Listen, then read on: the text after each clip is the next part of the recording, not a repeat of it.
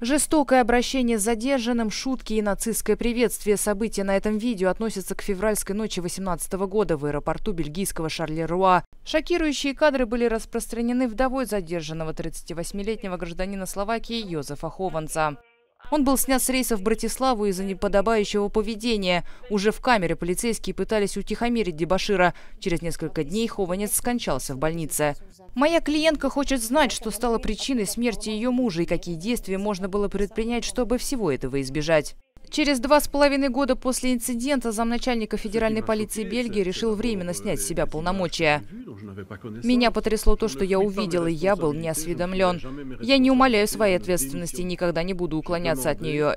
Я не ухожу в отставку. Я попросил, чтобы мой мандат был временно прерван, поскольку я чувствую, что не могу его выполнять, особенно из-за проблемы утечки внутренней информации.